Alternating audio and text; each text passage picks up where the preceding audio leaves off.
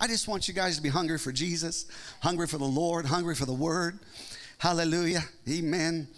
Praise God, praise God, praise God. I want you to know Jesus loves you, okay? I want you to know Jesus loves you.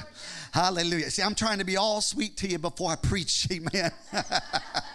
Hallelujah. Praise the Lord. Hallelujah.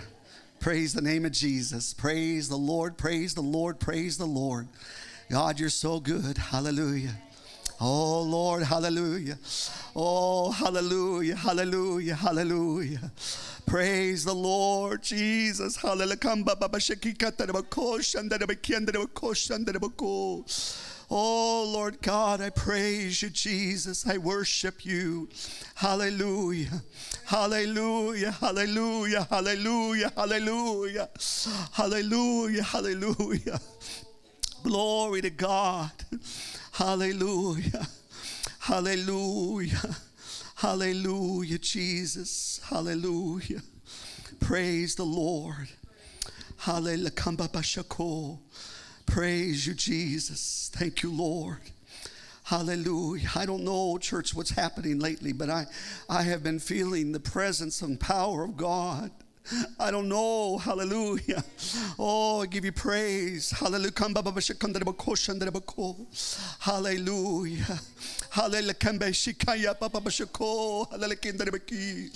Hallelujah. Hallelujah. Hallelujah. Thank you, Lord. Thank you, Lord. Thank you, Lord. God, you're so good, Lord. We praise you, Jesus. Hallelujah. Glory to the Lord. Glory to God. Hallelujah. Praise God. Hallelujah. Hallelujah.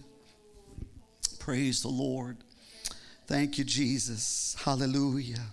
The Lord is so precious. I have been sensing his power and his presence in a new way, in a special way, I think more so than I've ever felt in my life. I don't know what God's exactly what he's doing, what he's getting ready to do, or maybe he's doing it. I don't know, but I tell you, church, we don't want to miss it. The services, the preaching, the teaching, the Word of God, and what the Lord is doing, it's been just amazing.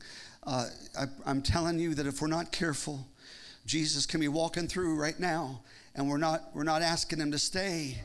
We're not asking God to stay. We're not, we're not, we're not seeking God. We're not, we're not asking Him. We're, we're, we're not like Jacob wrestling with the angel of the Lord and saying, Bless me, bless me. You know, God, I need you. I, I need your presence. I need you. Hallelujah. We, what happens is we preach last Sunday, we forget all about what was preached now, and we want something new, but we haven't done what last Sunday said. You know, we, we're going to be careful about that. And, and, and, I remember when I was growing up, and my mama, and uh, she'd fix dinner, and if I said I want something after I ate dinner, she'd say, I'd say, Mama, I want something else. And she said, You finish what you got on your plate first, then I'll give you something else. That's the way I grew up. Anybody else grow up like that?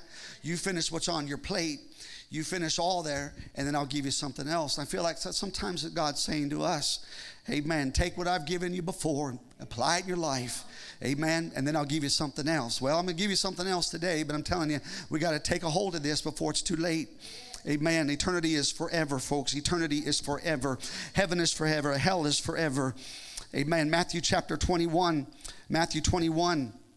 And let's go to verse 12. Matthew 21 and verse 12. Uh, I'm glad you're here today. Amen. I hope you're glad you're here today. Matthew 21, praise God, verse 12. I'll read a few verses here. Hallelujah. Praise God. New paragraph here. And Jesus went into the temple of God and cast out all them that sold and bought in the temple and overthrew the tables of the money changers and the seats of them that sold doves. Not many people like to talk about that kind of Jesus. but he did. He went in there and he saw what was going on in church and it displeased him and he turned over the money tables. You understand? Money scattered out everywhere. He had a John said he had a cat, cat of nine tails, if you will. He, he had, a, had a whip, if you will. Uh, and he used that in verse 13 and said unto them, It is written, he goes to the word of God, My house shall be called the house of prayer, but ye have made it a den of thieves. And then the blind and the lame came to him in the temple, and he healed them. Mm. Oh, pray that you'll open your heart to God today restoring the temple of God. Father, I pray for your blessing, your help to minister thy word. I feel your presence, God. I pray for the unction of the Lord. May nothing come out of these lips of clay that are not of you. God, I need you, and I pray your blessing, your help, God, that you would be lifted up and glorified, and that the hearts of men, of people, would be drawn into you, God, I pray. God, you're stirring hearts. If it's not in, in even in Marion, I, I know, God, it's in other places God, and you're drawing people unto you. And I thank you, God, and I pray today, Father, for the blessing of God upon the people. And God, that you would change us, help us, strengthen us. God, do some work in our hearts and lives today. I thank you, Father, in Jesus' name. Amen and amen. And you may be seated, uh, restoring the, the temple of God. And you kind of got a picture there that I found that kind of give you an idea. You see a whip in his hand, and he's turning over the table of the money changers because that was not uh, pleasing un, unto God. See, Jesus is interested in restoring that which is to be used uh, for the intended purpose of God. Uh, that's right. Let me say it again. Jesus wants to restore back what's intended uh, purpose for God. Whenever we see a true move of God or revival. It always restores it to its intended purpose. Uh, in this particular event, Jesus uh, comes to restore the temple, He comes to restore the church, uh, the place which was intended for prayer and the place of worship. But through the years, the people began to use the temple or the church for things other than what God had purposed for it. But when Jesus shows up, He restores it. See, the church of God God today uh, needs to be restored. Uh, the function of God's church uh, needs to be uh, restored uh, today, church. Uh, just before Jesus enters the temple, we see that he's riding into Jerusalem on a colt, which no man ever sat upon. And Jesus comes into the great city with meekness, he comes in humility. Picture this, if you will. Thousands had lined the roadway for the Jesus's triumphal entry, and Jesus rode along with people shouting praises praises unto God, saying, Hosanna to the Son of David. Blessed is he that cometh in the name of the Lord. Hosanna in the highest. It was a messianic shout unto praise unto God. Jesus, the Son of God, he is the coming Redeemer as people were shouting unto the Lord. Now, the city of Jerusalem, the center of the nation, the religious capital of the world, is all stirred up because of this. In other words, uh, it's moved, if you will. In fact, notice in verse 10 uh, of Matthew 21 uh, and when he uh, was coming to Jerusalem, uh, all the city was moved, saying, Who is this? Notice uh, the Bible says that the city was moved. What does that mean? Well, the word moved in the Greek is this it is eseste, and the root word is seo, and it means and it means to rock, it means to uh, shake, it means to stir, but it also means uh, to agitate.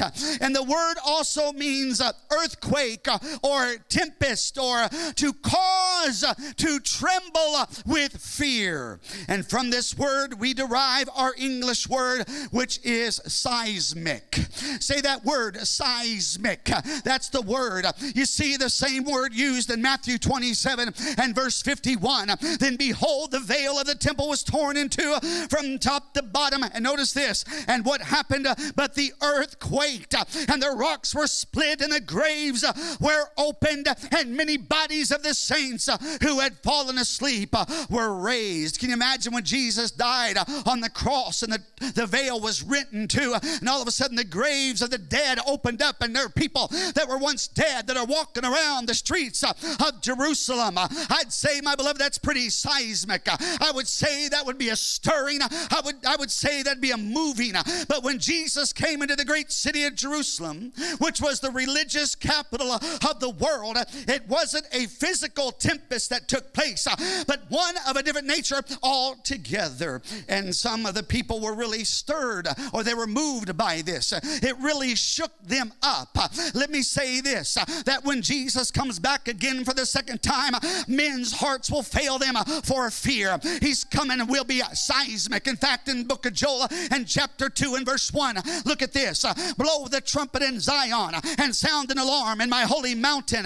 Let all the inhabitants of the land tremble, for the day of the Lord is coming, for it is at hand. You see, the day of the Lord is coming, and it will be seismic. When God comes, it will be huge, it'll be magnificent, it'll be seismic, and it'll cause many to tremble and to fear within their hearts. An awesome encounter with God, and how awesome is our God! Great and mighty is He. In fact, in Zephaniah chapter 1 and verse 14, the great day of the Lord is near. It is near and hastens. Notice this quickly. The noise of the day of the Lord is bitter. There, there the mighty men shall cry out.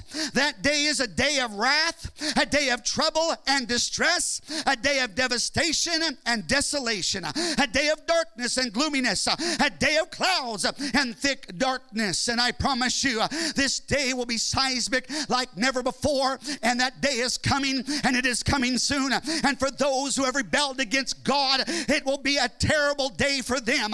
But for those that are saved like you and I, it will be a day of rejoicing. And there are those today who may laugh and they might scoff and they might mock and sneer at our Lord Jesus Christ. But there'll be a day, listen to me, church. I said there'll be a day when the Lord will come in might and power and majesty and glory. The Bible does not lie. Jesus is coming. Hallelujah. Amen. And I pray that there would be a stirring in your heart today Mm. Now, listen, my beloved, he may have ridden into Jerusalem the first time on a colt. But next time he'll, he comes, it'll be on a white horse, and he will come. And the Bible said his eyes will be like a flame of fire, and a robe dipped in blood. And at his mouth will be a short, sharp sword. And on his robe and thigh will be written King of Kings and Lord of Lords. Oh, hallelujah. Regardless of what goes on, past, present, or future, he, amen, be assured that Jesus will have the last word. You can tease and mock and sneer at us, the saints of God. But I'm telling you, God has the last word. He will prevail uh, and triumph uh, over the powers of darkness uh, and the darkness of man's wicked schemes because Jesus Christ is Lord and you and I have the victory in Him. Amen. Hallelujah. And I pray that what was just said would cause a moving or a stirring in your heart. Hallelujah. Amen. Hallelujah because the truth that is preached should resonate with the spirit of truth that is within your heart. Amen. Amen. Now, now as as Jesus approaches the city in the midst of shouts and praises, notice that he goes directly to the center of the city. He goes to the temple. In other words, he went to church. I'm sure that there were a lot of things he passed by that needed his attention. He probably saw the injustice of the poor. He probably saw the condition of the people, and the government needed an overhaul, just like the government needs an overhaul today. However, Jesus passes by those things and he heads directly to the temple. He didn't stop the McDonald's and get a Diet Coke. He didn't go to Burger King. He didn't even stop by the coffee shop, although you can stop by the coffee shop, the remnant, by the way. Uh, he didn't even stop by there uh, to get a cup of coffee, uh, but he heads straight to uh, the temple. Uh, he went straight to uh, the church. Uh, I know people, oh, don't you think that Jesus cares? Oh, yes. I mean, with all the sin and the problems within this city, with all its crimes and immorality, with all the abuse and the troubles and the problems today, doesn't Jesus care about these things? Isn't he concerned about it, my friend?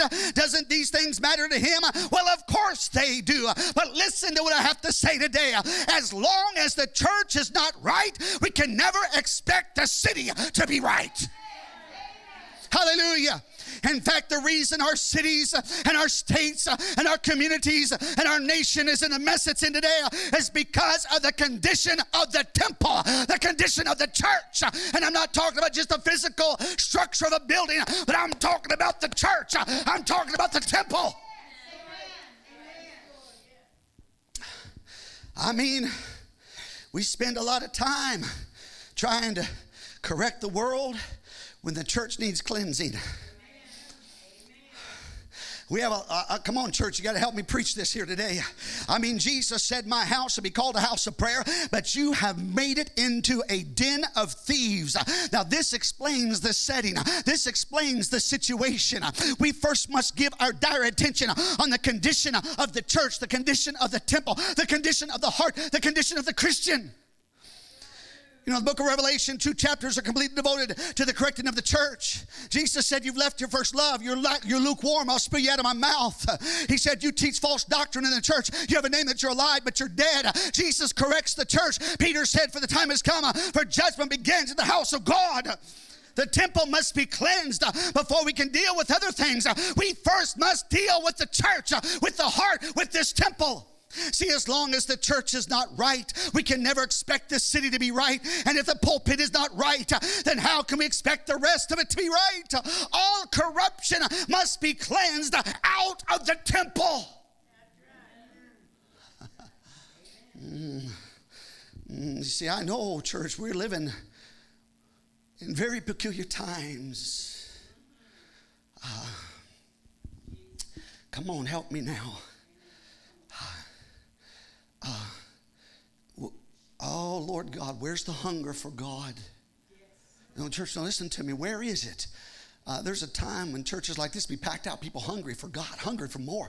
At that old fashioned altar, praying and seeking God, fasting, desiring God, praising worshiping the Lord, wanting more of God, weeping at that altar, grabbing the horns of the altar, saying, I want God, I want the Lord like the bread.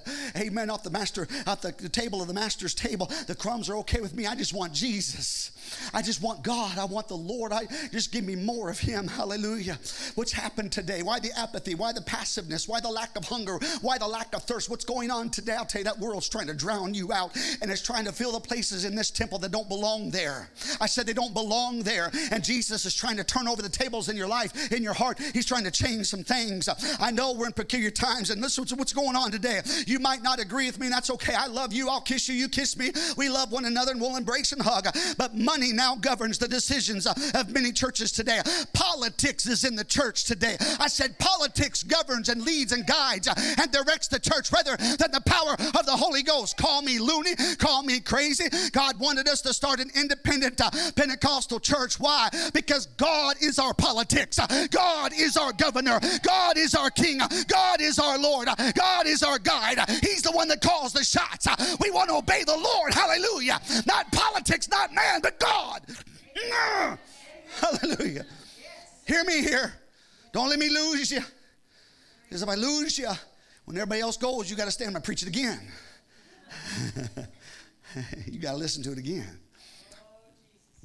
And what I'm saying, money now governs the decisions of churches. Uh, Eli has not corrected his sons. Uh, they are thieves and corrupters, uh, and yet they're handling, handling the sacrifices of God. You have thieves and corrupters that are handling the spiritual things of God. Be Eli, the high priest, won't do anything about it. He just lets things go. He doesn't deal with the issue, and that needs to be dealt with. He probably is afraid of offending people and running people out the church doors or uh, uh, running out the tithe check. But listen, my beloved, whether you agree with me or not, I find that famine has hit the church. And so uh, it goes to Egypt uh, for help, which is a type of the world. And in an attempt to save its skin, the church now markets itself uh, to the unchurched in hopes that it'll bring in good numbers of people and cash. In other words, we're getting the idea from the world and bringing it into the church and thereby keeping them on the cutting edge of the modern hip hop popular social gathering of what now we call the church. But it's more fleshly than ever. It's more carnal than ever. There's no spirit. There's no power. There's no life. There's no deliverance. There's no salvation. Come on, church. I'm telling you, there's no moving of the Holy Ghost. Church leadership will have to answer to God for much of the suffering and the pain caused by their misuse and abuse and lying and false doctrine and shearing of the sheep, uh, which is all done, of course, in the name of blessing and in the name of God told me so. Uh, and I said all that to say this the temple needs to be cleansed. Uh, there needs to be revival. There needs to be a renewing. There needs to be a power of thy spirit to work and to move in the church like never before. And the only way to have world impact is for the temple to be rid of all that which displeases God. The temple was the first to experience the impact. You see, in fact, the impact was so great that a few things happened here. What happened when Jesus showed up in the temple? Well, number one is this the marketers were ushered out. Verse 12, Matthew 21. And Jesus, when he went to church, when he went in the heart, when he went in the temple of God and cast out all them that sold and bought in the temple, they were driven out for a purpose. What was the purpose? They had made the temple of God into something it was never intended for it to be. I mean, you gotta you gotta get out what doesn't belong to God and allow in what does belong to God. You see, the temple was never meant to, be an ecumenical tool to unite all religions. Uh-uh. Amen. That's not how. Uh-uh. Uh, uh, no, that's just not Unitarianism. Mm-mm. No, no, no, no, no, no. How can we do that when we can't agree on doctrine, especially the doctrine of justification by faith? The church was never intended to be a place where the unchurched dictated or the lost dictated what was to happen. In other words, there is no reverse mentoring here. Listen to this it was never intended to be a place of entertainment or show, it's to be this. Jesus said, My Father's house is to be a house house of what? Hear me, church. A house of what? A house of prayer. That's right. He said that's what's its intended purpose. That's what it's there for, to be a house of prayer. Now, get this. When our Lord entered into Jerusalem, he didn't go up to the palace of the king, nor did he go to the courts of the rulers, nor did he go to the high priest of Caiaphas. He wasn't coming to the Pope, but rather Jesus went to the temple. In other words, when he got into town, he went to church, he went to the house of God. Jesus went there first. Mm. Oh, you understand what God's trying to do? You're trying to deal with everybody else when you first need to be dealt with. Oh, oh, oh, no, no, Pastor. Wait, wait, what are you talking about? I'm talking about you got to get the log out of your eye before you try to get the splinter out of mine. Mm, hallelujah. Somebody hear me preach. Somebody hear this. Hallelujah. We're trying to deal with all the problems when the church got to be dealt with first. The church is you. It's not the structure of this building. It's you. You're the church. You're the one that's saved. You're the one that's. I'm so glad that y'all here today. Amen. I'll be glad to get the other half back because we miss them. But I tell you what, I'm so glad to have you here today. God bless you. Hallelujah. But I'm telling you, God wants to deal with this right here. God wants to deal with me. God wants to change me. God wants to remove some things out of my heart and life in the temple that don't belong to God. God, things like greed, things like pride, things like selfishness, all things of the flesh he wants to get rid of. So he comes into Jerusalem, the, the capital city of the nation, and he goes right to the temple. mm-hmm. You see, his kingdom, get this now, I know we can get caught up in things. I do too. I got to watch myself. I get caught up in politics. I get caught up in what's happening to this nation. And I feel for this nation. I grieve for this nation. I get caught up in a lot of things. But God's kingdom was not of this world. I'm trying to tell you, listen, church, this isn't our this isn't our world, this isn't our kingdom. It's not of this world. This is not the kingdom of God. It's not physical, but his kingdom is heavenly and spiritual. His authority and rule was in the temple of God and in the hearts of men in the hearts of men. Therefore, he went up to the temple of God to what? To do this, to cleanse it, and to show men how the temple was to be used. Amen. What's this temple to be used for? It's not to be used for the flesh, but that this temple is to be used for the glory of God. Your purpose is to glorify God in your life, in your actions, in your living, in the way you live. Your testimony is to bring glory unto God. Your worship, your prayer, your singing, your praise is to bring glory unto God. Your faithfulness, your commitment, your actions are to bring glory unto God. I somebody hear me today.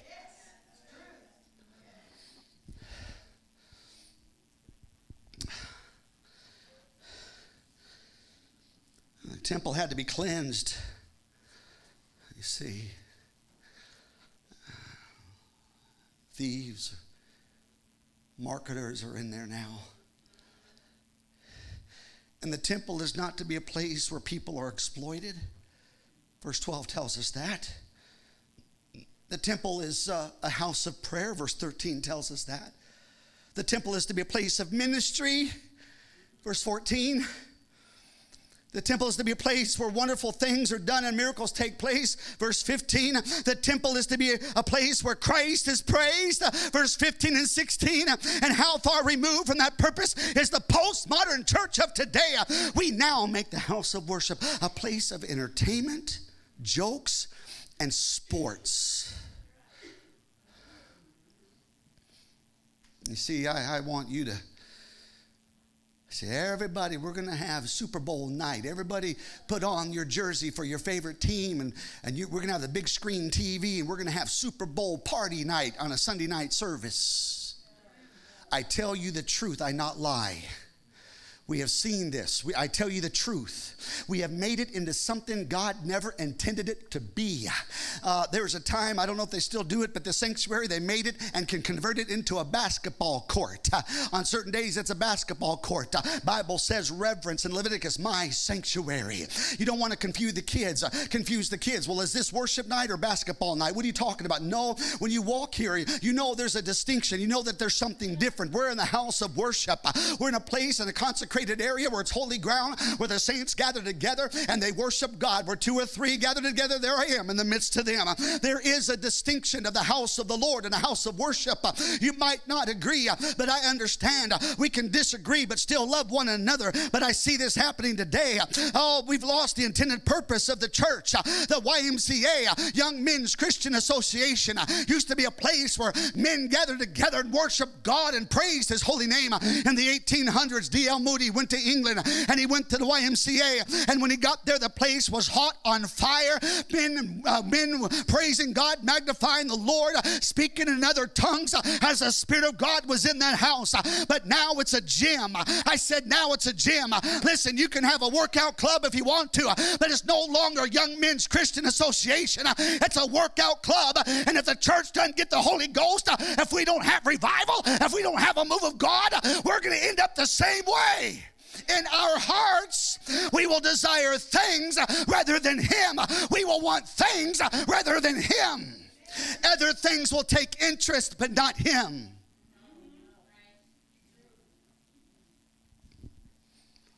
Other things will captivate our hearts, but not Him.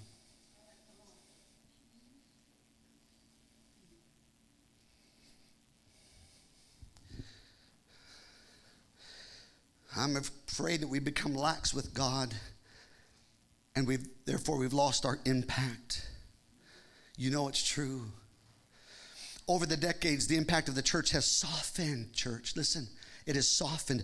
It's to where there's hardly any impact at all. No shaking, no moving, to such the degree that the world feels right at home in the church. In other words, we've become like them. And many churches these days stay away from controversial issues like sin. They stay away from homosexuality, judgment, repentance, change. They quit preaching things like the blood and atonement and the cross and redemption. And now we tell them that we accept their lifestyle and they don't have to change. God accepts you just as you are. That is false. That's not true. You must be saved. You must be born again. It's a narrow way. Wide is the road that leads to destruction, and there be many who go in by it. Narrow is the way that leads to life, and there be few that find it. No wonder the world comes in and feels right at home. No conviction, no challenge to the respond to the word, no change. Basically, they feel they can stay the way they are and still make it to heaven. Just attach Jesus to your life and he'll make you feel better. That is false teaching. Give us preachers today that'll declare the word of God in love and bring conviction back in the church again in the word of God to deal with the hearts of man and to clean the temple out. God, God help us.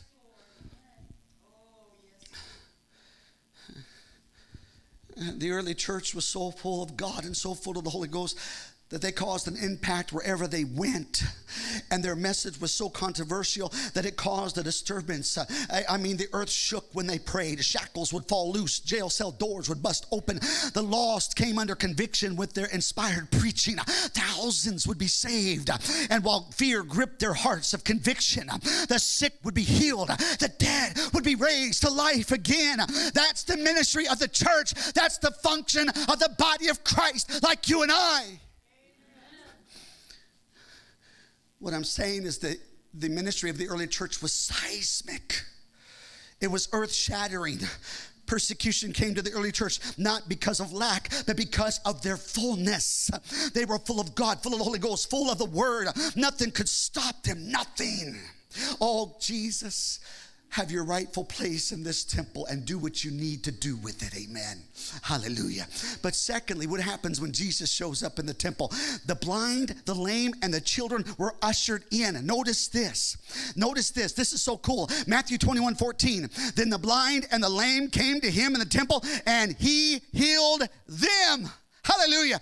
Jesus is there. Look at verse 15 tells us the children were doing this. They were crying out in the temple singing, Hosanna to the Son of David. Listen to this. The children, the children were praising God, getting up at six in the morning so they can go to church.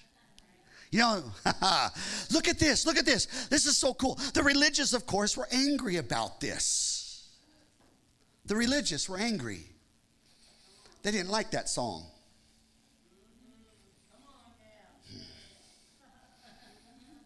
Y'all not hearing me.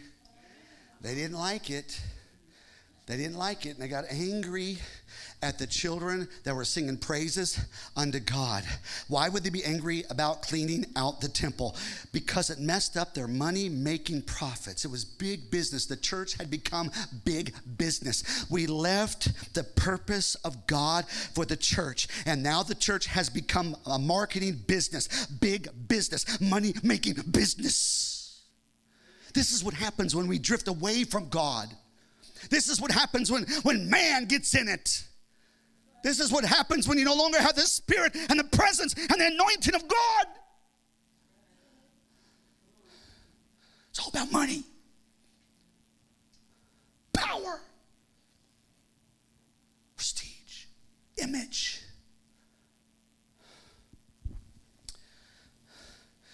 You see, the temple sat, let me, let me, let me show you something, let me teach you something here. The temple sat on top of Mount Zion and was thought to have order, uh, covered about 30 acres of land. Now, it consisted of two parts the temple. There was the temple building. You just keep that picture right there, Brother John. You see the temple building. And then there was the temple courtyards around the building. And the temple building was a small structure which sat in the center of the temple property. It was called the Holy Place or the Holy of Holies. And so only the high priest could enter into its walls once a year on the Day of Atonement, make an offering or sacrifice on behalf of himself and then also for the people of Israel. And the four courtyards which surrounded the temple were separated by huge walls. And you can see those huge walls in that picture. First, uh, there was the inner court of the priest. Only the priests were allowed to enter into this court.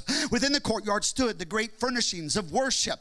For instance, they had the altar of burnt offerings where they offered sacrifices, animals unto God on behalf of their sins, the brazen laver, the seven branched lampstand, uh, the altar of incense, which signifies prayers unto God, the table of showbread, all of which speaks of Jesus Christ, our Lord and our Savior. Hallelujah. As He is the bread of life and He feeds me. Praise God. But secondly, was the court of the Israelites. And this was a huge courtyard where Jewish worshipers met together for joint services on great feast days. It was also the place where worshipers handed over their sacrifices to the priest. But thirdly was the court of the women, and women were usually limited to this area except for worship. But then fourthly, we had the court of the Gentiles. And this courtyard was the place that was farthest removed from the center of worship. And it was in this court of the Gentiles where so much commercialism took place. And there are regular commercial markets within its walls. And you wonder how did a commercial or commercial market ever get into the temple of God? It's very simple. It's because of greed. The love for money, the love for wealth, the love for power and the love for control. Why should those people out there get the money and business when we can get the business in the church? We can have it for ourselves. And so let's implement their ideas and let's bring them into the house of God. Mm-hmm. You see, Worshippers needed items for their sacrifices and offerings, and people from foreign nations also needed money exchanged. And at some point in the history of the temple, instead of letting retailers on the outside reap all the profits, the priest had decided that's the, the spiritual leadership had decided to take advantage of the market themselves. And so the priest began to set up booths within the court of the Gentiles. And they also uh, leased out spaces uh, to outside retailers, and the courtyard was filled uh, with booth like spaces where people can find any kind kind of service that they needed. And the atmosphere was one of commercial traffic and of commotion, but nothing of worship, nothing of prayer, nothing but carnality and of flesh no spirituality whatsoever. They were not concerned about that. They could care less about that. Just give me your dough.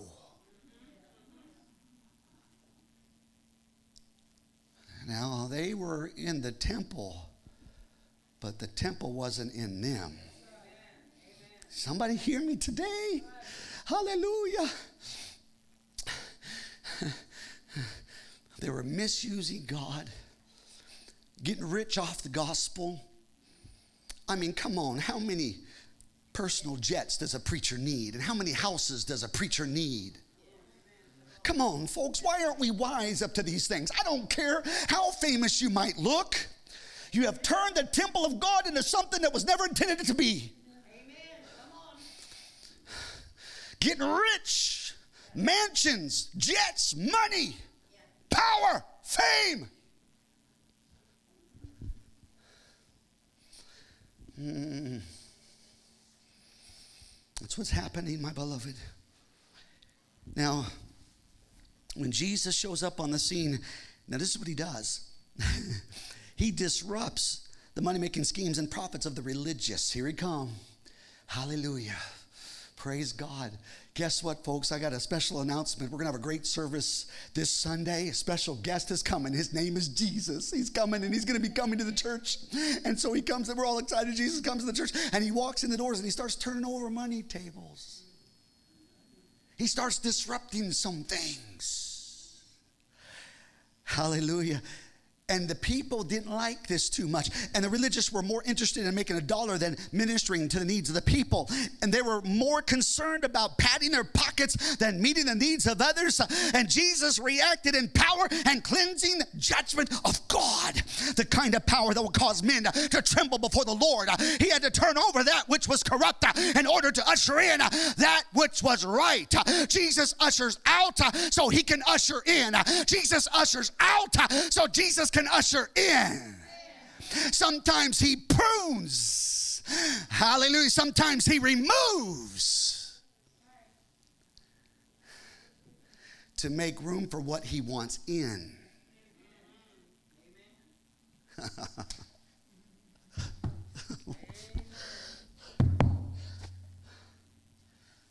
Y'all get that? Oh, Lord, help me. You guys okay? All right, here we go. Jesus,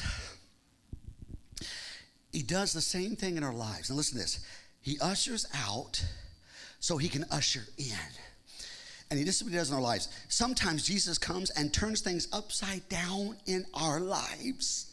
Sometimes Jesus enters and causes a disturbance in our midst. Why are these things happening to me? And why is it so hard? And how come everything doesn't go my way? And why the turmoil? And why the problems? And why the difficulties? And why the chaos?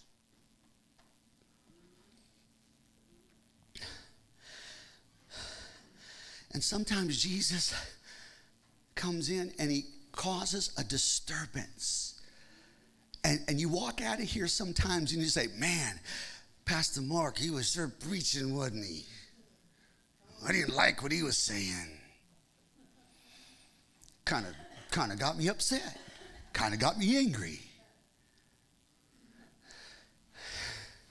No, Jesus has taken that word and he's walked right over to you and he's got inside the temple and he's turning things over. Because there are things in the temple that don't belong there, that moved in there, and you didn't even know it. You were sleeping one night, and some things of the world moved into your temple and tried to set up camp and a booth to sell and market things there, and you didn't even realize it. But Jesus sees it, and He said, My temple, my uh, Father's house is going to be a house of prayer. It belongs to God. You were made in the image of God to worship your Creator, Jesus Christ our Lord.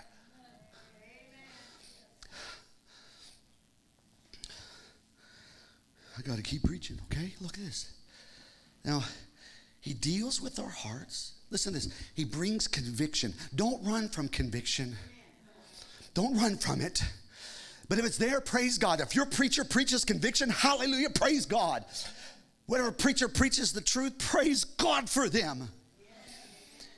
Jesus causes us to search and to reflect and examine. Examine your hearts to see if you're in the faith. Bible says that. He causes an unsettledness to occur. What is he doing? He is turning over the tables of the money changers in your life. He's putting back in order the things that pertain to God. He's helping us get things right on the right track. He's setting things in order again for the glory of the Lord, the way God wants it. Hallelujah. We'll pray for you, Holden. Hallelujah.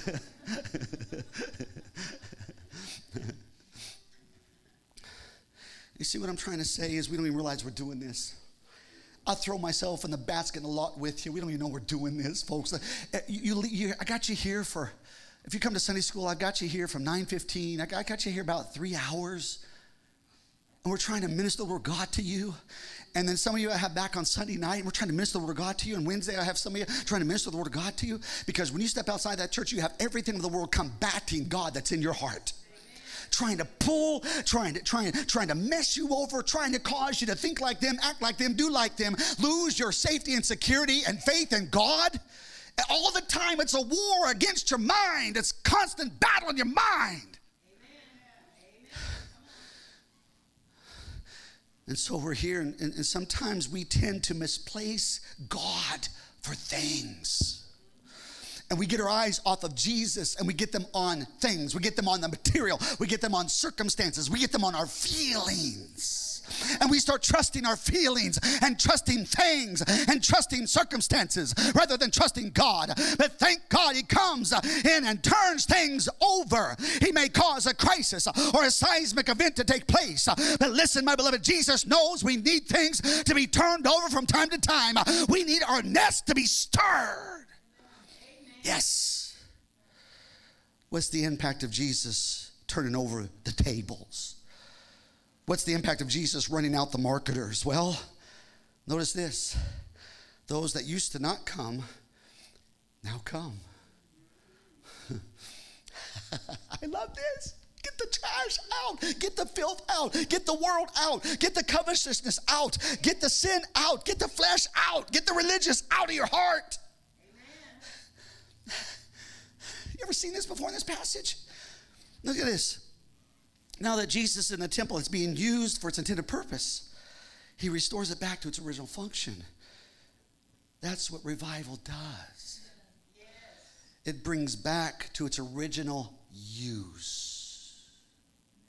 You ever taken a car, and an old beat up car, an old 57 Chevy, something like that, and you just and you, you restored it.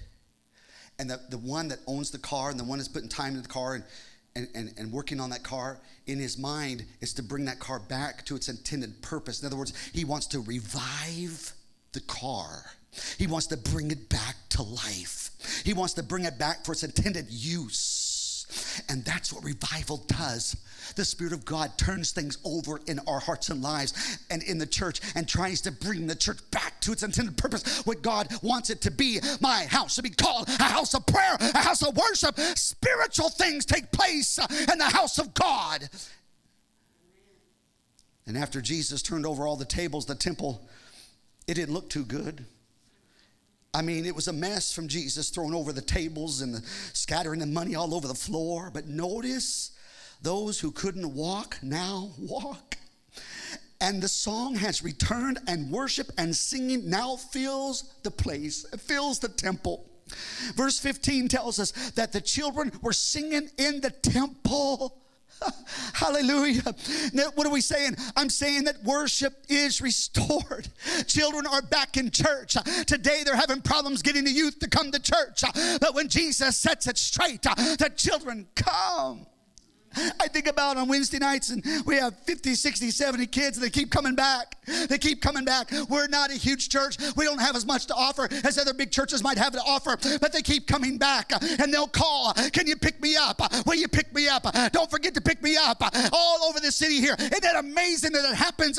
What is it that they keep coming back for? I have no explanation except they must know or sense the presence of God in the temple, in the church, the love of God in people people that truly care about them, that they'll get up at six o'clock in the morning to get ready for church.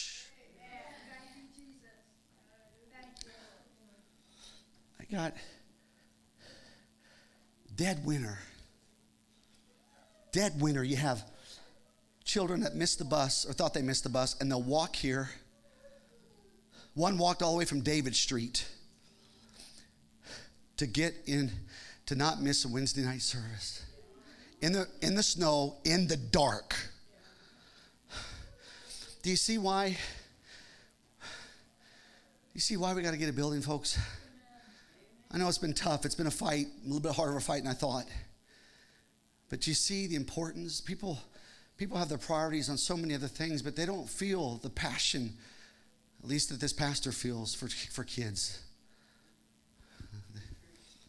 They don't, they don't feel the passion.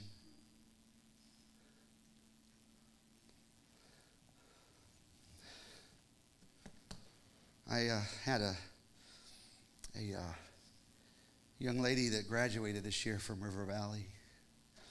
And she had her graduation party yesterday. Now, Saturdays are like, I'm crushed on Saturdays. I am so busy.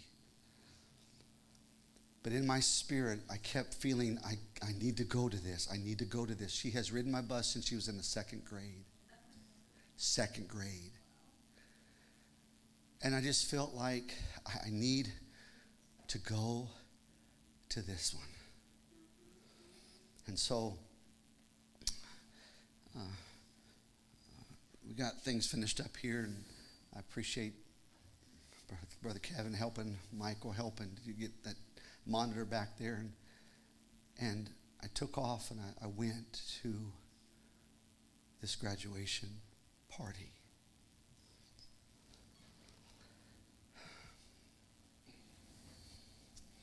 Why would you do that when you have so much to do?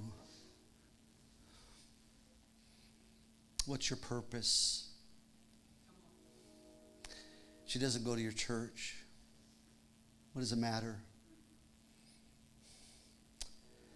I guess I wanted her to know number one, they know I'm a pastor. Number two, I represent the gospel. But number three, I wanted her to know that I care about you.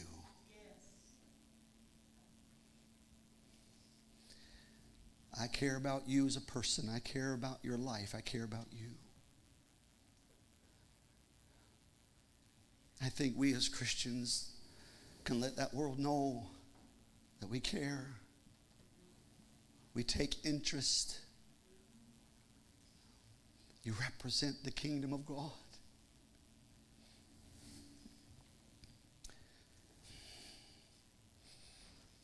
The presence of God now is back in the temple. See, that's what will keep the kids. It's not games, it's not entertainment, it's not shows. But the presence of Almighty God, that's what will impact their lives forever. It's not your billion dollar gold trimmed buildings that are going to keep people for Jesus. The question is do they have the presence of God there? Is Jesus in your midst? Do you have the presence of the Holy Ghost? In the Philippines, in Nicaragua, in Thailand. We'd meet in some places that had wood slats for seats and dirty floors and palm branch roofs. But the presence of God was there in a powerful way, and that's all that mattered. Uh, Morgan, remember that last house we were at? A, a big storm came, people packed in this house. It was a church house in this one room. We must have had 30, 35 people in there. We're packed in there. It's hot, humid. I mean, they had one little light bulb, I think, in the middle, and I'm trying to preach off of a cardboard box that was converted into a pulpit. I mean, they're right right up in front of me. Amen. Y'all back there, but I'm telling you, they're right there in front of me. And I had about two foot of space, and we're preaching the gospel of Christ. The presence of God, I, will never forget this. The presence of God entered into that room. And these, these people in Nicaragua began to lift up their hands and their voices, and they're praising God. And I'm preaching some of the same stuff I preach here, but they're praising God. And a storm came that night. It rained a lot there in Nicaragua, and the lights went out, but that didn't stop anything. In pitch darkness, it's hot hot, it's humid, it's crowded, we're packed in like sardines, but they're still singing the praises of God. Hallelujah. Why did they do that? Because they recognized that God was in that place. I remember one of the churches we had preached at, and that pastor didn't know me, and I've got an interpreter. And Morgan, you'll remember this, but while I was preaching, that beautiful couple, that family, that went to get us a soft drink afterwards, that we wanted to stay. And that pastor sat in the front seat of his church the entire time I was preaching, and he cried and he wept and he sobbed the whole time. Why? Because he felt the presence of God. That's why. Uh, uh.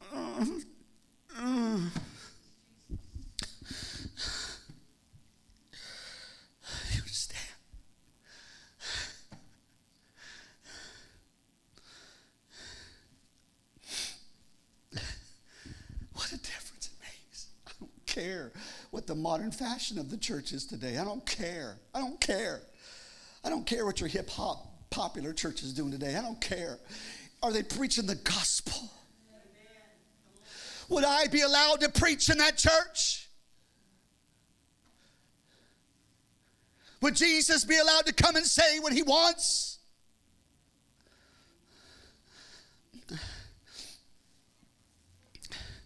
Notice this. After the money changers and marketers were kicked out, singing and worship now fill the place. Look at this. Get the church back to what its intended purpose is to be, and we will once again see the blind and the lame healed, and people come in lost and searching, and they'll find Jesus. They won't find a money gospel. They won't find a money message, but they will find Jesus. Songs will be lifted up in his name. Praise and worship will be to exalt him. Songs of worship that point directly to Christ. It lifts up the soul to heaven and causes one to sing in adoration unto God. It's worshiping in spirit and truth. Get the church back, get this temple back to what its intended purpose is to be. Get the temple right. And when the sick come in, they'll be healed. The eyes of the blind will be open. The deaf will hear. The lame will walk. The captive will be set free.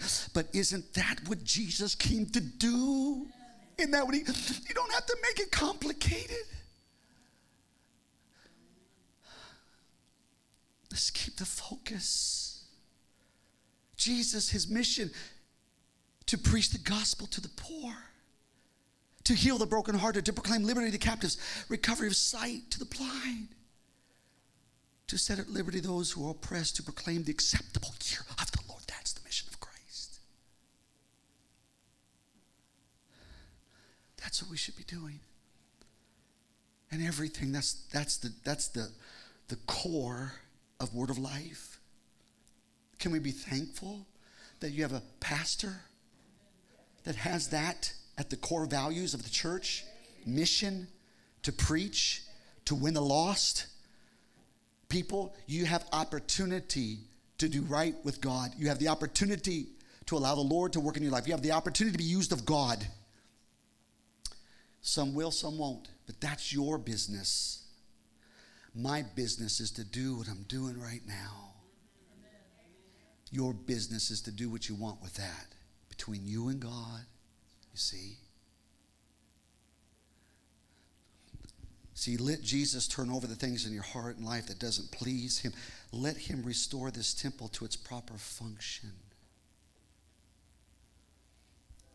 So that we're able to see what we've not been able to see. All the, the truths that I've been missing. All because I have not allowed Jesus to turn over or to clean up or to clean out of me all that which is hindering me from being the temple that pleases Him. When all that which is ungodly is cleansed out of the temple, God will in usher in His presence. His presence. What is Christianity without the presence of God? What is gathering together as a body of Christ without the presence of God? And when and, and, and and when people come in, they'll sense the presence of the Lord. Maybe they don't know what it is, but they know it's something different. I just want His presence. I want the presence of God. Oh God, amen. Do what you got to do. God, get rid of the whatever it is that's not pleasing to you in this heart because this is a daily thing. This is not just once in a while. This is daily. God, I want to be broken and humble before you. Take out the pride, take out the self, take off, take out the religiosity, just being religious, you know. I just don't want to go through the act of performance, but I want your presence. Oh God. We might not have much money. We might be between the tracks and hear the trains and the whistles of the trains. God bless those trains. We might be in an old building built in the 40s that keeps the air conditioner keeps tripping the breaker. We, we might not have the fanciest of things, but is that what you're looking for? Is that your agenda? Is that your desire? Is that your hunger? I want, I want the best that buildings can offer. I don't want to be on the west end of town. I don't want to associate Ah.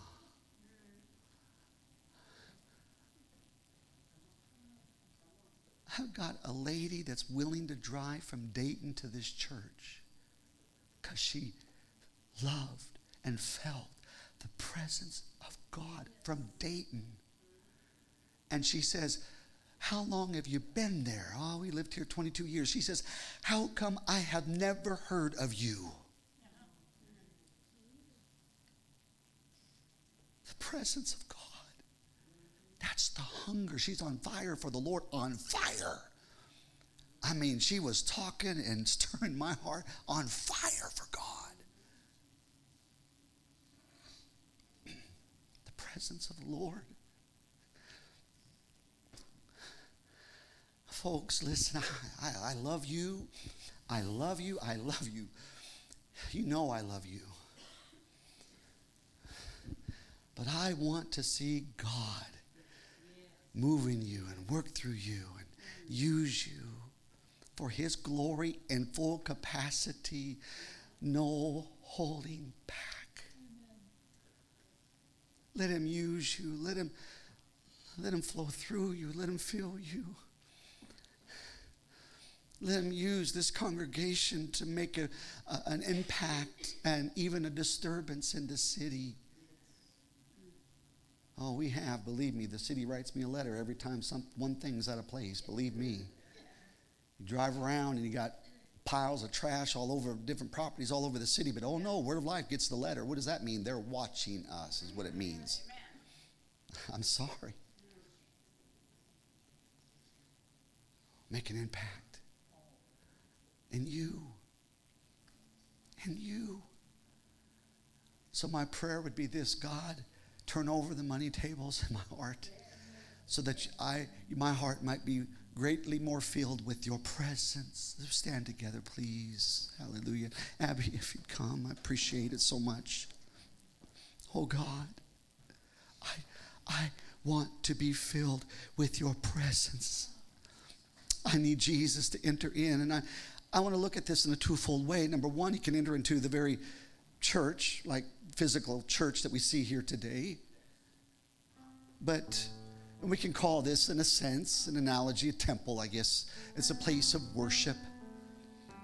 We want things to be done decently in order. But yet at the same time, we do want the moving and operation of the Holy Spirit and the freedom to worship, the freedom to pray. Thank God we have altars. Thank God we have the opportunity to pray, but I want God to work in this temple. I know I need God to work in this temple. Hallelujah.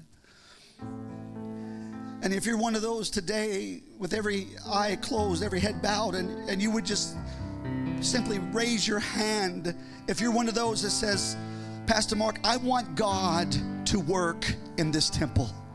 Thank you. Just raise your hand. Hallelujah. I know you do. I know you love the Lord. And why don't we do this? Why don't we ask the Lord to move in this temple, turn over whatever He wants to turn over, and let's deal with that so that He can fill this temple with His presence. Let Him fill your heart. Let Him do that. Hallelujah. Let there be, be a seismic moving in your heart. Let God work. Let God stir. Let God tug and touch and move and feel. Let Jesus do what he wants in our in this temple. Hallelujah. And I'm just going to ask you today to find a place to pray. I'm going to invite you to this altar. Just come and let's find a place to pray this morning. Come on, church. It's okay. You raise your hand, come find a place to pray. God, I pray in the name of the Lord. Turn over the money tables. Whatever it is, God, maybe there's pride, religion, whatever. I don't know. It's between you and God. Maybe my attitude isn't right. Maybe maybe there's something disturbing me. Maybe there's something not right. Whatever it is, I invite you. I invite you to come to Jesus. Just come to Christ, come to God. Hallelujah. In the name of Jesus. God, do it in my heart, do it in my life, in this temple, God. I pray in the name of Jesus. In the name of Jesus. Hallelujah. Hallelujah. I want you, God, to fill this temple with your presence and with your glory. Hallelujah.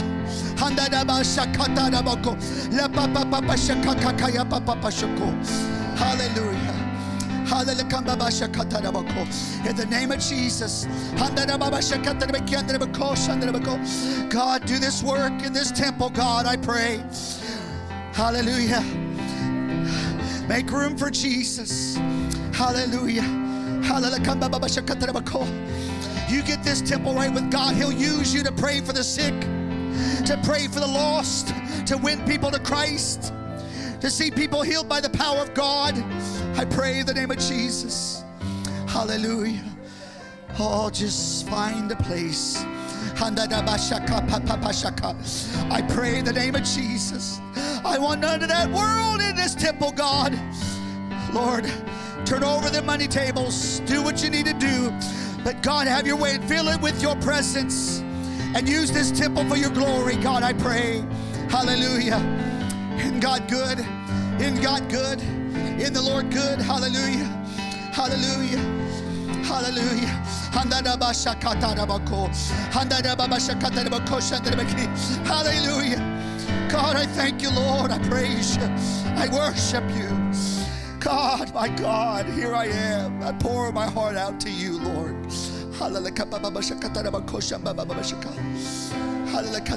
I'm willing, Lord. I'm willing. I'm willing, God. Change me, God. Change me, Lord. I'm willing, God. I pray, change me, oh God. Change me, oh God. Oh Lord, I pray in the name of Jesus.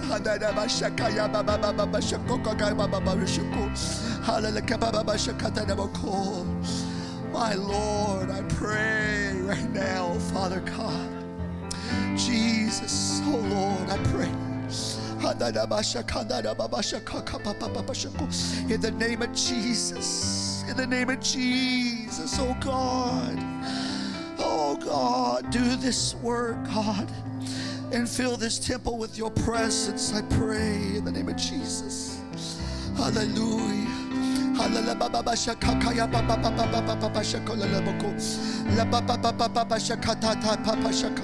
In the name of Jesus, hallelujah.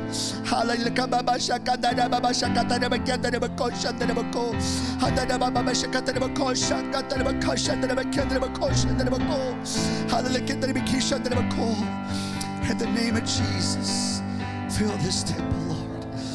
Hallelujah with your presence that you might use it for your glory. Use it for your glory, God, I pray. Hallelujah. In the name of Jesus. Oh Lord, I pray. Hallelujah. Praise the name of the Lord. Praise the name of the Lord. Hallelujah. Hallelujah.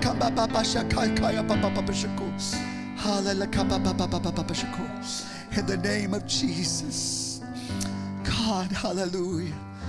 And God can use His church to pray for the sick that they might be healed. Hallelujah.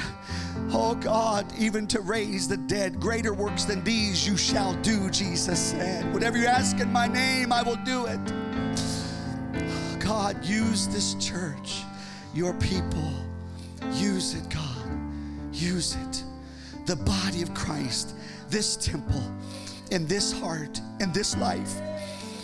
Lord, remove, I pray, anything that would hinder your presence in my life, hinder you from having your way and using this temple for your glory, God. Remove the flesh, carnality, self, sin. And when God fills the temple with his presence, causes us to want to minister to others, to sing unto God in worship and adoration in spirit and truth, it causes us to desire him even more. I just desire the Lord. I desire God in my heart, my life. Hallelujah. His presence is what makes the difference. I must have Christ. I must have the Lord. The Lord, I believe, is coming. I believe the days are shortened. I believe He's coming soon. We must be ready. Be ready for the coming of Christ. Be ready for a moving of the Spirit of God. I pray, God, that every person in this place would have the victory of the Lord. Those watching live have victory of God. I pray that God, that you would walk in the temple of their heart. God, take out whatever is not pleasing to you. Remove that which hinders the presence of God and from the Spirit of the Lord moving. Remove it, God, and usher in your presence. Hallelujah. Can you imagine praying for the sick and being healed, the lost being saved, the bound being delivered? Because the church believes Christ is in his rightful place. There's nothing distracting us from God or pulling us away from God or calling, causing our senses to be dulled to where Christ can be right in front of us and we not see him. He can be walking right through this body of Christ and we can miss him because of the lack of alertness and awareness spiritually. Oh God, may we be sober and vigilant.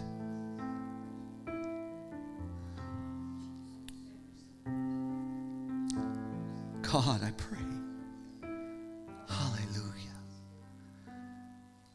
Praise God. Oh Lord, give you praise and adoration today.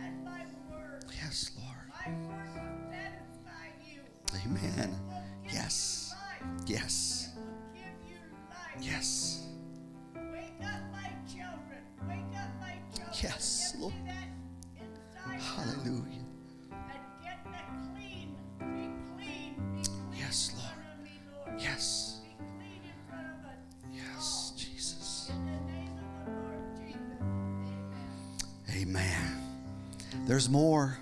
Amen. Hallelujah. God, stir our hearts. Stir us, oh God. May there be a seismic move of God. Amen. Praise the Lord. Let's stand together, please. Pray as long as you would like. Father, I thank you, Lord, for your presence. I thank you for the word of the Lord and God, your anointing and your unction. And once I sense in this place, I feel your strength. I feel your nearness. I, I, I, I feel like you're right here next to me preaching this word. And I thank you, Lord. I thank you, God, for who you are. But Lord, I just, I'm thankful that there's more, God, to attain. Forgetting those things which are behind and pressing on to those things which are ahead. I pray that every one of us would be stirred in our hearts, and God, that we would do what we can to eliminate distraction and make some adjustments in our lives so that we might have more time with you. I pray that you'd cultivate a hunger, a stirring in our hearts for more of you. And I pray, God, that you would come into the temple, turn things over, do what you need to do so that it might be filled in a greater capacity with your presence, so that you can use your people, the church, the body of Christ, to do the function the church ought to be doing preaching the gospel, praying for the sick to be healed, raising the dead, opening up blinded eyes, bondages being broken, jail cell doors being opened, people being set free because the church is active, because Christ has its rightful place in the temple. And I thank you, Lord. God, we love you and we praise you today. And I thank you, Almighty God. Hallelujah. Touch this city, Lord. Please touch this nation. Please, oh God, win the lost. Let your light go forth.